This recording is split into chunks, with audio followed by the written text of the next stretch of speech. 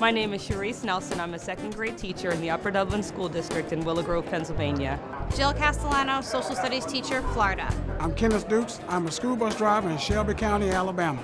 Teaching the whole child to me means not just addressing the academic needs, but the social, emotional needs of the student. As a school bus driver, I'm the I start the process of education.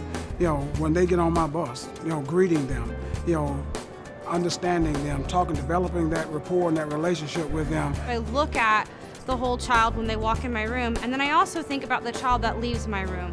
Um, who am I sending into this world? Do they have the skills that they need when they leave me? My name is Joshua Katz. I am a high school math teacher in Orlando, Florida. My name is Rachel Quinn, and I teach seventh grade English learners at Harshman Magnet Middle School in Indianapolis, Indiana. My name is Renisha Dyer. I teach fourth grade at Olive Chapel Elementary in Apex, North Carolina. My name is Amber Riel, and I teach 10th grade math at Waianae High School in Waianae, Hawaii.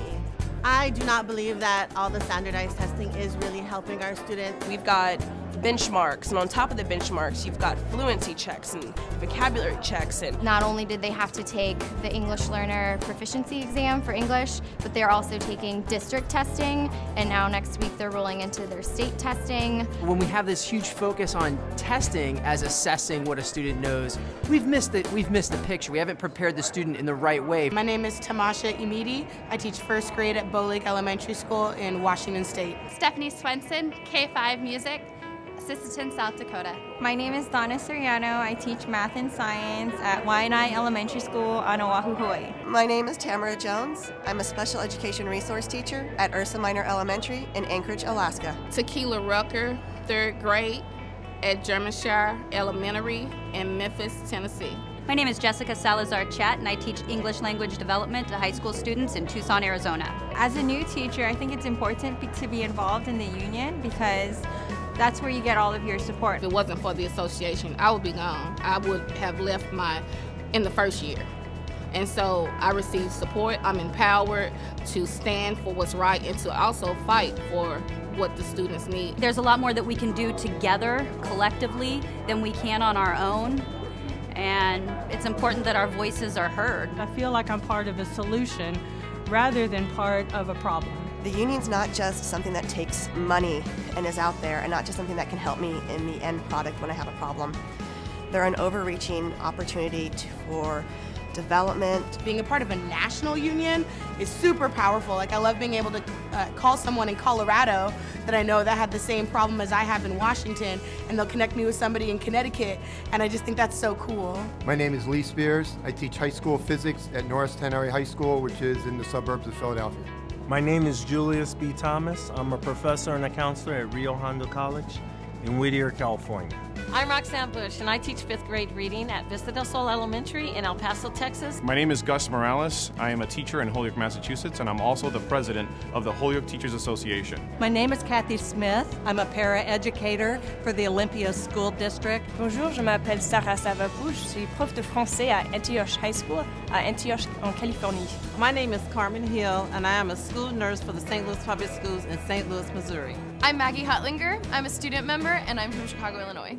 I feel like sometimes the uh, the politicians forget that they went to school. You have to have some say and should have some say over what's going on in your profession now and for the future. Outside effects are affecting your classroom every day, and it's your duty as a teacher to stand up for your students. And the best way to stand up for your students is to become active. I testified at a Senate hearing in for the Washington legislature as a paraeducator. Every single teacher I've talked to in this country is no, I can't see doing this the way it's going right now for another 10 years. So if that's your answer, if you know that things are wrong right now, then the time to step up is right now. Email a senator, tell your story, um, show up to a rally. If we're all going to make a change or make a difference, we all have to do it together. Every decision we make needs to be focused around around the student, and the student's the important thing. It's what we do. It's why we do it. And, and if they don't have a voice and we can't provide them that voice, then they're really the losers in this whole proposition. My name is Susan Simmons. I'm a special education teacher for the Germantown Municipal School District in Germantown, Tennessee. I'm Shannon Mills. and I teach middle school social studies at Carlisle County Middle School, and I'm from Mayfield, Kentucky. My name is Noelle Dixon. I teach third grade from Apex, North Carolina. I'm Laura Montgomery. I'm a homeschool consultant in Little Rock, Arkansas. Chelsea Herrig, NEA Student Chair from Minnesota. My name is Kevin Harper. I'm an ELL teacher in Rock Springs, Wyoming.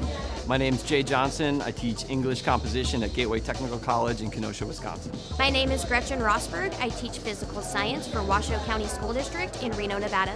My name is Esmeralda Correa. And my name is Karen Tyler. And, we teach kindergarten at Nellie Muir School in Oregon. we'll do that again. I'm an advocate for you, myself, the children, the families, and for the profession. Being a teacher is just something that I've always wanted to do.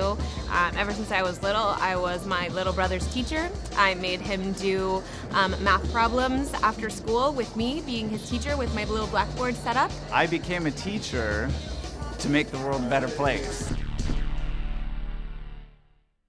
I always wanted to be president, and I learned that I wanted to be president because my second grade teacher told me that he was the boss of me. So I asked who was the boss of him, and he said the principal, and I said who's the boss of him, and he said the president, and I said who's the boss of him, and he said nobody. So I wanted to be president. So I started working at an after-school care program, and I realized that I worked a lot better with kids than I thought I did, and I still got to be the boss, but in like this really beautiful, awesome way. And so I went into my undergrad for education, and I just loved every second of it.